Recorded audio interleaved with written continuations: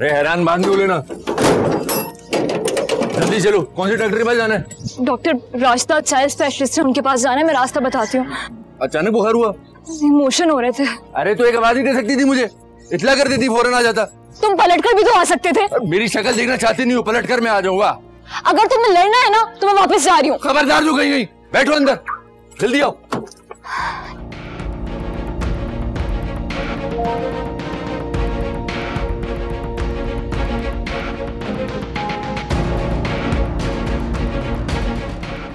ऐसे करके देखो ना उसको। सर आप जल्दी चलाए ना प्लीज़ तेज चलाए कहीं देर ना हो जाए।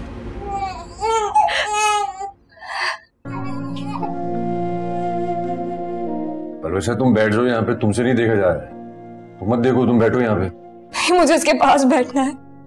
कहना कैसे लगवाएगी? इतनी छोटी है ये। ट्रिप की तकलीफ़ कैसे सहेगी? आराम से चलो प्लीज़ परवेशा तुम बैठो यहाँ पे। उससे ज़्यादा तो तुम रो रही हो यहाँ पे। तारस देख रही है ना उसको हो जाएगी ठीक। ठीक तो हो जाएगी ना। मैं तो बोल भी नहीं सकती अपनी अपनी तकलीफ़ भी नहीं कह सकती। मैंने देर कर दी। मुझे मुझे कल ही इसको डॉक्टर के पास लेके आ जाना चाहिए ना मैं देर कर परवेशा डॉक्टर ने कहा है ना कि परेशानी वाली कोई बात नहीं है। ट्रिप में इंजेक्शन लग रहा है उसको। दो तीन घंटे में बेहतर हो जाएगी वो।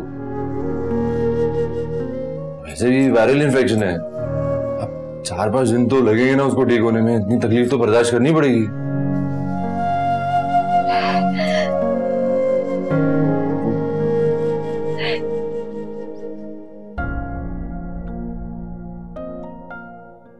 कुछ बोल नहीं सकती है, लेकिन उसकी जबान तुम तो समझ सकती हो।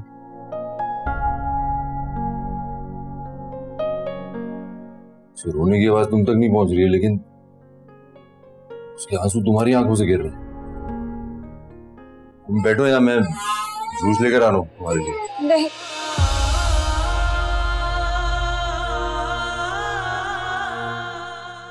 मत जाओ।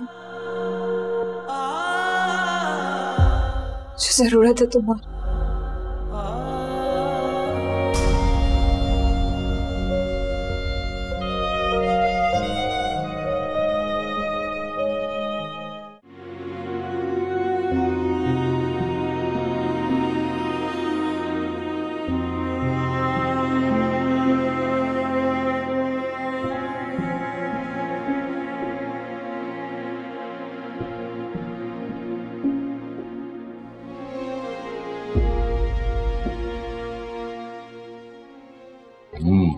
फ्रेश होके आ जाओ।